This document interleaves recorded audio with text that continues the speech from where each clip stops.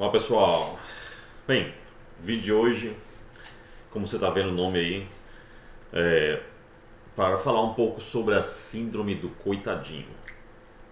Bem, o que, acontece pessoal? Uh, uma das coisas que eu venho notando bastante, e isso já, já vem de algum tempo, né?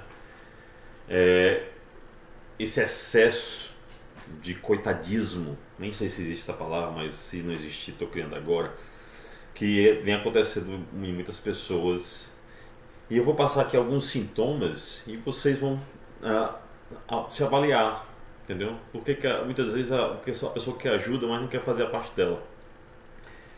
Então é importante que a pessoa faça a sua parte antes de pedir ajuda, antes de qualquer outra coisa. Aquela mesma história que eu falei em, em alguns outros vídeos do cara que manda pergunta sem nem ter feito uma, uma pesquisa, entendeu?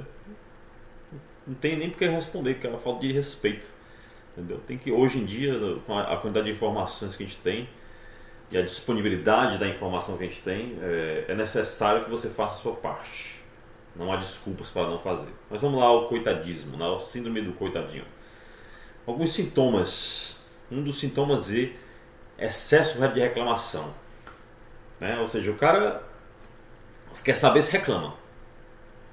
Ele não, não tem limites. Quantas e quantas vezes eu já tive cenários de você de entregar assim, tipo, tudo para a pessoa e a pessoa conseguir achar um defeito para reclamar. Quantas vezes você já passou por isso?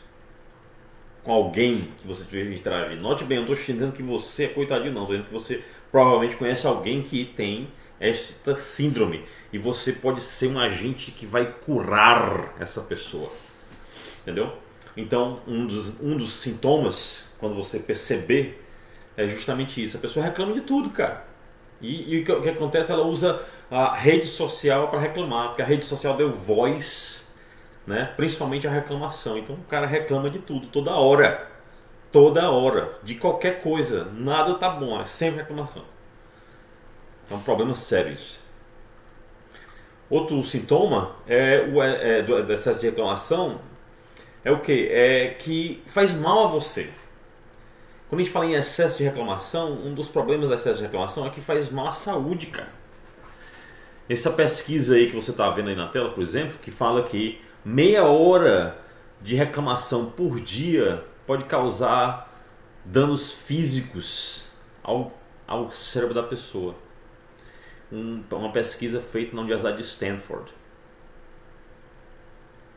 Rapaz, se isso for verdade, se essa pesquisa realmente concluiu isso, eu acho que tem gente que quando chegar nos seus 50 já não tem mais nada na cabeça.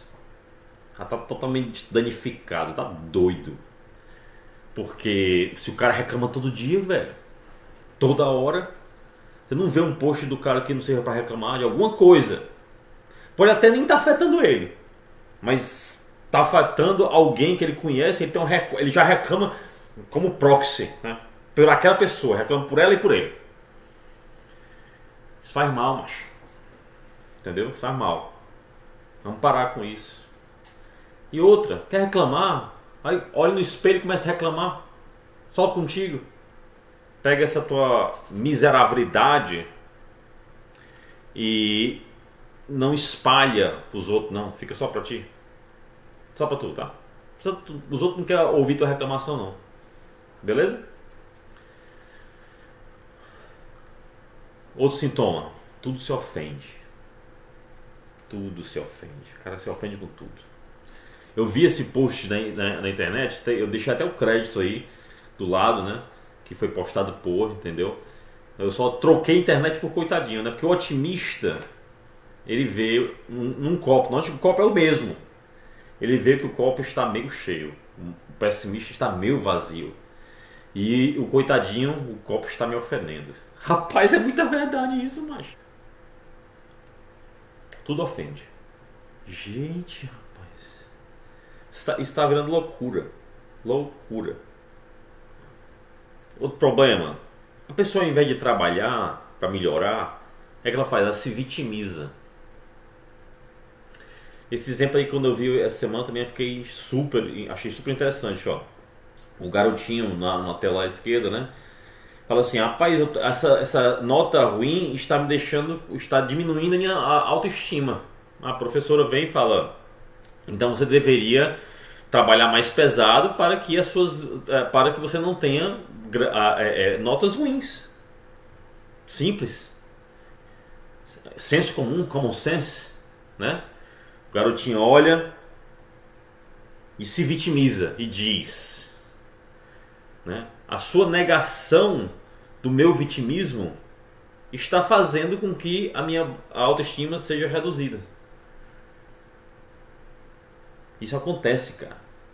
O cara não quer trabalhar mais pesado. Ele, se, ele, ele acha que ele, ele merece. Já. Já nasceu e tudo é dele. Ele acha que não deve, não deve sofrer, tra, trabalhar duro para conseguir o que é não. Ele acha que o mundo deve a ele. Porque ele nasceu. E só por ele ser o que é, ele já merece tudo. E merece nada, macho. Ninguém merece nada não. Merece o que faz. O cara colhe aquilo que planta. É a mesma coisa de você ser um, ser um agricultor e você não plantar e querer colher. É simples assim. É simples assim. Um negócio que não não está acontecendo mais isso. Entendeu? O pessoal quer receber sem entregar.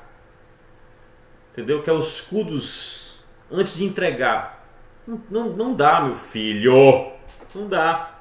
Não é assim que funciona. Então, síndrome do cuidadinho novamente. Ah, além de tudo isso que foi dito, pessoal, tem vários sintomas que você vai, vai notando na pessoa. O cara tá sempre de mau humor, sempre reclamando, sempre mau humor, sempre mau humor. Aquela pessoa que, sabe, você chega perto dela e já sente aquela energia né, que, negativa, que hoje sente que já sabe tudo, o cara sabe tudo. Você tenta explicar a coisa, o cara não, não, não, já sei isso. Deixa nem que você complete a frase, cara, porque ele acha que já sabe. Ele acha que nada vai ajudar ele, porque ele já fez tudo. Esse é um grande problema. E o cara desse ele não precisa de guia, não precisa de um mentor, não precisa de nada, porque ele já sabe tudo. Então ele não tem essa, essa questão de mas como é que eu faço melhor vou pedir ajuda de alguém. Não, ele vai dar, pô, já fiz, eu já fiz tudo. Eu mesmo já, já, já, já tentei de tudo, não consigo. Aí se alguém tentar explicar ele, ele, não, eu já fiz. Não, isso que você está falando eu sei. É, é complicado. Fala, conspira em segredo para o fracasso dos outros. Esse, esse tipo de pessoa ele nunca quer ver o próximo bem. Ele sempre quer ver o próximo se lascando, se lascando. Por quê? Porque quando os outros se lascam e eles passam um passo na frente, ele se sente vitorioso. Não pelo método dele, mas porque os outros se lascaram. Um negócio sério. Tem medo de mudança. Entendeu? O cara não quer mudar. Tem gente que até hoje não quer saber de nuvem. Não, nuvem não, cara, não, não. Eu tenho meu servidor aqui, eu abraço ele todo dia. Tá entendendo? Não, não premise. Exchange 2000 ainda. Windows 2000. Por quê? Porque eu não quero mudar. Não, não isso aí não existe. Certo. Outra coisa que acontece, sempre culpa alguém ou algo pelo seu fracasso pessoal. Ele nunca tem problemas que ele precisa melhorar ele sempre tem que procurar alguém ou algo para culpar. Sempre, sempre, sempre. Isso é um padrão. É um psychological pattern desses caras que, que agem de coitadinho. Entendeu? E está sempre ocupado para estabelecer novas metas. Rapaz, se você vive ocupado, você não está produzindo. Você tem algum problema de gerenciamento do seu tempo. Eu sempre digo isso. Olha, estou gravando esse vídeo agora em um intervalo que eu tenho Tá certo? Que eu criei esse intervalo para poder gravar esse vídeo. Não tem um tempo não, macho. Estou escrevendo dois livros agora. Trabalhando oito horas em outros projetos. E fazendo, e tem família, e tem milhões de outras coisas, mas eu priorizo meu tempo e eu consigo arrumar.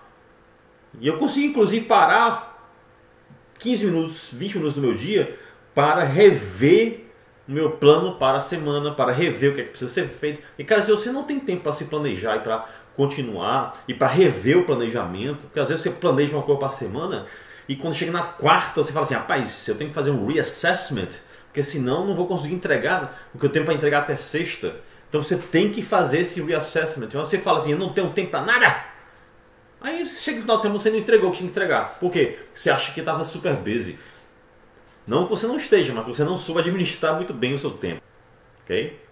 Bem, era só isso o vídeo de hoje e obrigado por ter essa semana, essas duas últimas duas semanas, ter várias pessoas que subscreveram, eu agradeço. E em breve mais vídeos para vocês. Abração.